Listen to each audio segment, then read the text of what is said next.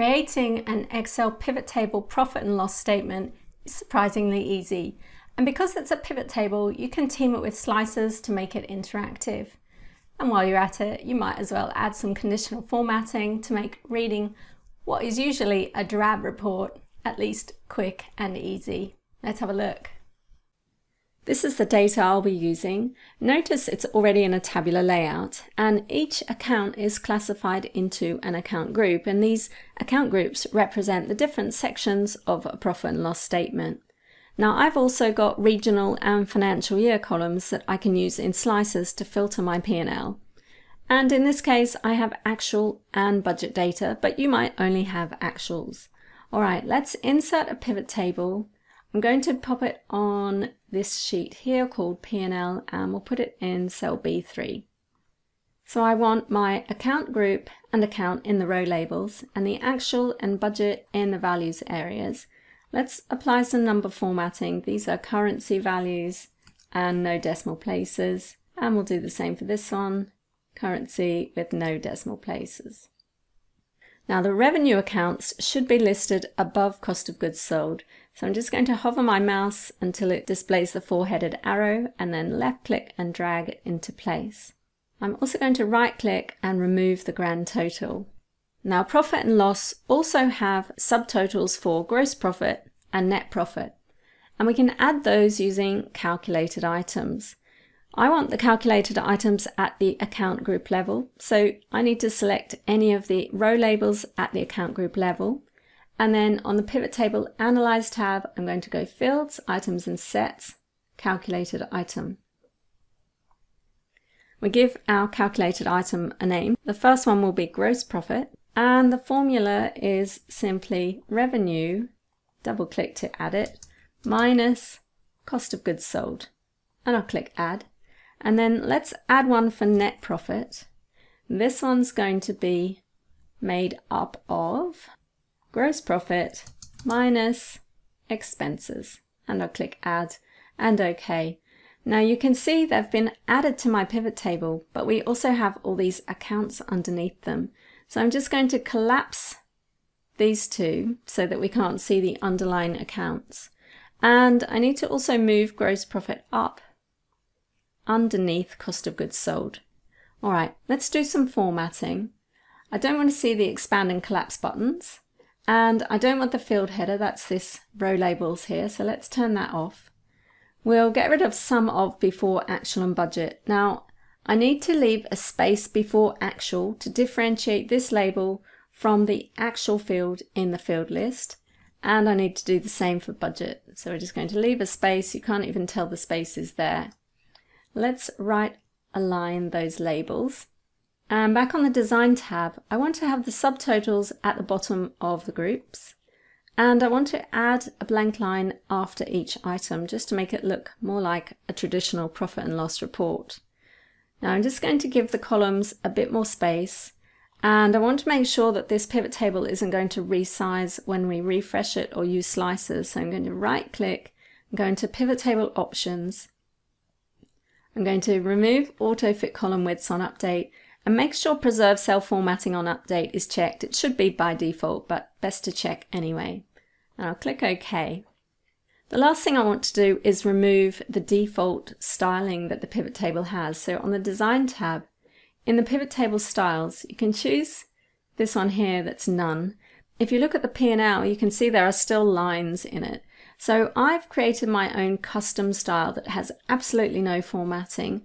And you can create your own custom style by right clicking on one that's close to what you want and then choosing duplicate. And then you can go ahead and modify the settings in there. I've already done that here, so we're going to apply the no formatting style. Let's add some borders. We'll repeat the same for this one and the expenses. Gross profit can have a top and bottom border and net profit can have the double bottom border. Now if you have actual and budget like I do, then you'll probably want to display the variance. And we can do that on the Analyze tab by adding a calculated field. Call this one variance and the formula is simply actual minus budget. click add. While I'm here, I'm going to add a percentage variance and that's just actual divided by budget minus one. Click add and OK. And you can see they're automatically added to the pivot table. Let's get rid of sum of like we did with the other labels. And we'll add a space. I'll format this as a percentage with one decimal place. And there you have a pivot table profit and loss. Now, profit and loss statements make for dry reading, but we can make it quicker for our audience to interpret with the help of some conditional formatting to visually indicate whether the variance is positive or negative using traffic lights.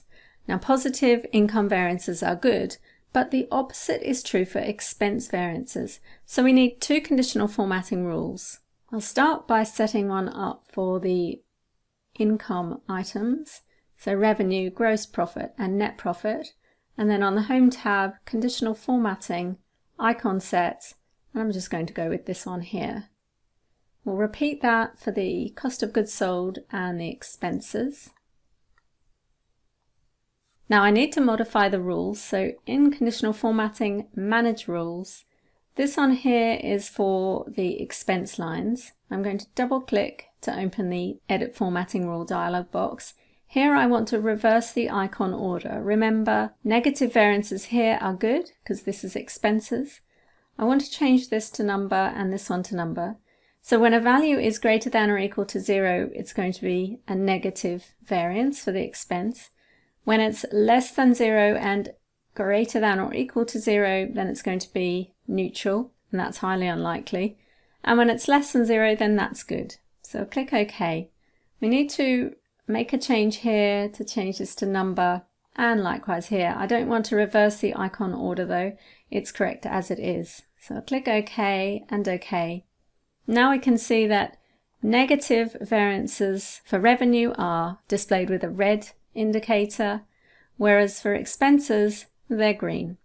Now, if your source data has fields that you'd like to filter your profit and loss by, like I do here with region and financial year, then we can do that with slicers. So let's insert some slicers. I'll have one for region and financial year. And I'll just bring them over here and we'll squeeze them into this space.